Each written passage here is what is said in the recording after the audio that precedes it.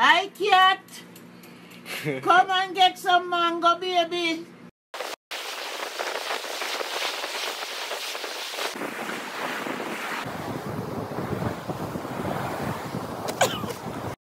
One, two, one, two, three.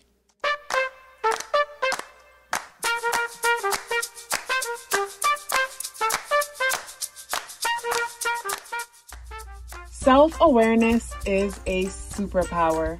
My name is Kathy LaDonna. Welcome to Soul In Vibration.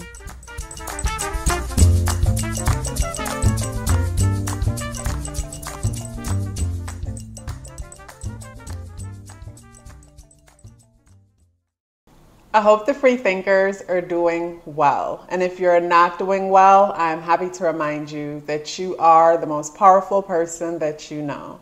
You are the most powerful person that you know because only you can create your reality. Hey guys, today is Sunday, January 29th, and the energies within the day adds up and reduce to the number one vibration. If today is your birthday, happy birthday. So, when it comes to the energies within this day, it's easy to feel like everybody is looking at me when no one's really looking at you. It's that kind of vibe because a lot of focus is on the I am. I think of how the sun rules over the day and the sun deals with the individual, our identity. And I think of the brightness of the sun and how it feels like standing in a spotlight type of energy. I think of how the day adds up to the number one energy, and the number one is the I am. The number one energy talks about being first. It's competitive, it's egoic, it could be aggressive. The day is the 29th, and the 2 plus 9 is 11. And the number 11 could be turbulent, and this turbulence is coming from the amplified masculine energy when you see two number ones repeated. And this energy can be so intense because introspection and feminine energy is restricted or it's rejected because we don't reduce master numbers. So, this is a day where we could find ourselves bombarded with ideas, too much ideas. And the two brings a nurturing, sensitive aspect. The number nine is cooperative like the number two, but not always because it wants to. And I feel like both energies is not necessarily that they want to be cooperative, but they see that there's more to gain from cooperation than, say, rebelling or rocking the boat. So when I think of the number 11 aspect, I think of, say, it's like aggressive, lots of ideas, but at the same time not wanting to rock the boat. So I, I, I get a person feeling stuck within themselves. I think of, say, when a person gets angry, but they are afraid to show that anger, or get excited, but they're afraid to show the excitement. It's almost like fear of judgment. It's like, do I look silly to be this excited? Do I look silly to be this happy? Do I look silly to look be this sad? I just get this feeling of, say, always looking out to see like how am I doing? Am I okay? Do I look silly? Is it okay to act this way? Is it okay to be that way? So is this always looking out feeling to kind of check to see like, you know, how should I be doing? How am I doing? That's a lot of what I'm getting from the energies within the day. I like that the moon the moon is being positively aspected by Mercury.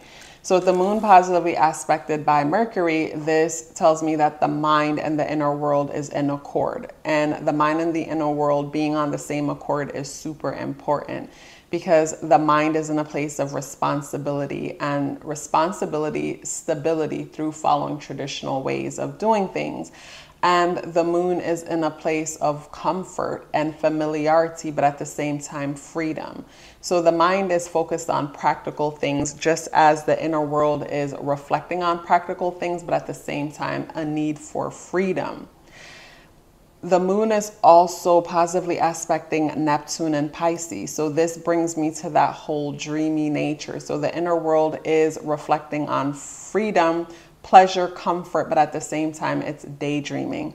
So, when it comes to the energies within this day, we could find ourselves also wanting to say escape into the things that bring pleasure, the things that bring comfort. This is also a day where you could find yourself like wrapped up on your couch and just binging your favorite movies, but movies from the past, movies from your childhood, or things from the past or things from your childhood that brings a sense of comfort.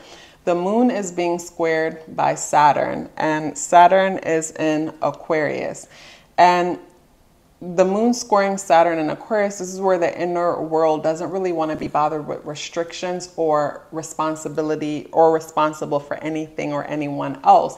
I think of, say, with the moon in Aquarius energy, I think of, say, me having jobs in the past and the job was so predictable and familiar to where it didn't require thinking, it didn't require much effort. I think of, say, being in the salon and doing a certain style, and because I've done it so many times, it's like it didn't require much thinking. So it's like if a person sat in the chair and they didn't have a bunch of questions to ask, or they didn't have a lot to talk about, and I could just do the basic, how you been, how's it going, blah, blah, blah, you know, melt the ice to make the person feel comfortable.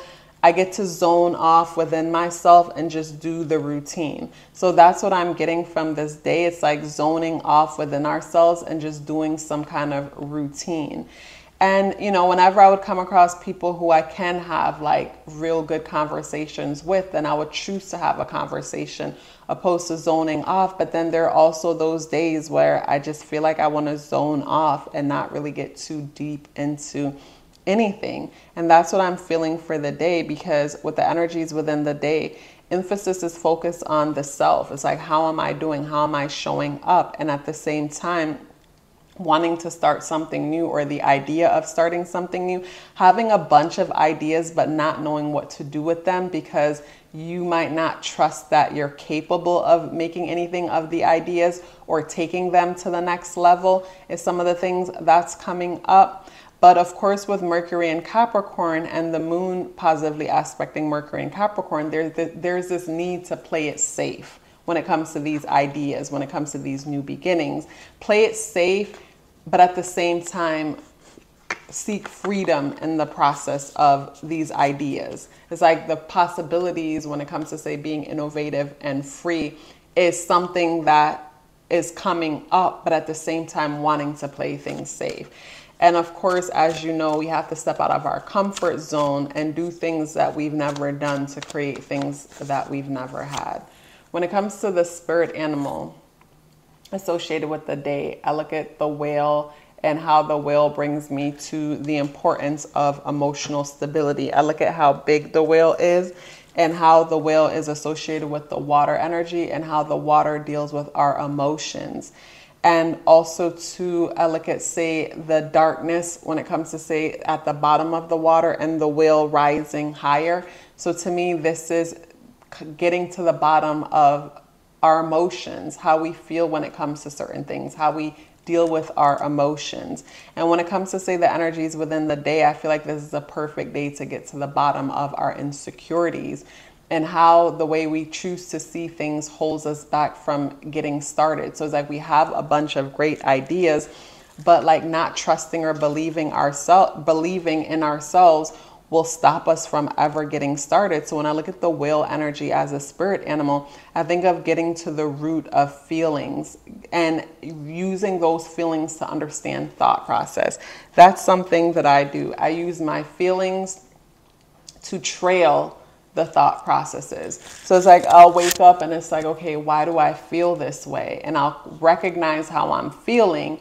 And then from that feeling, I'll trace it back to a thought process or a belief or something that's going on in my mind that's creating that feeling that needs to be addressed. So when I look at the will energy, I think about that. I think about observing an emotion and then following it to a thought process that needs some kind of resolution.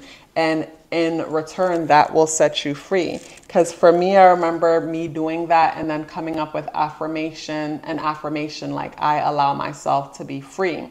And I'll say that affirmation daily, but I won't just say it. Like when I'm at home, I'll say it. I remember I would get up every day and I would say it for like 30 days almost with a, with a few others. But then whenever I would go out, I would observe myself in the in the presence of others and make sure that I'm allowing myself to be free. I'll think about old ways how I would restrict myself and realize how I'm not doing it anymore, and I would celebrate that. So, to me, this is a day where that way of doing and being can be beneficial. The card associated with the day is another emotional card, and it's the Two of Cups in the upright position. The Two of Cups could talk about two people becoming one, the start of a friendship, relationship, connection. It could talk about putting a creative endeavor in motion.